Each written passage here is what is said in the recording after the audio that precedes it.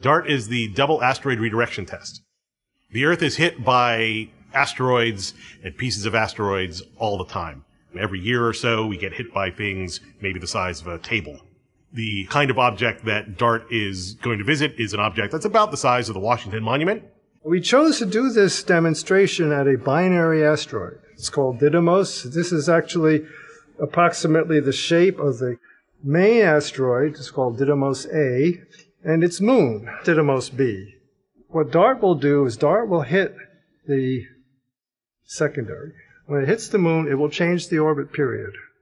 And when it changes the orbit period, it affects the timing of when the moon moves in front of or behind the primary. Mostly what we're looking to do is change the speed of the incoming object by maybe a centimeter per second or so. So that's not very fast, but if you do it enough seconds in advance, you can cause it to miss the Earth entirely. DART is a, a, part of a larger collaboration called AIDA, which pulls in all the experts of the world who can help their governments predict uh, and understand what it is that they can do and should do in the event that there was an incoming threat.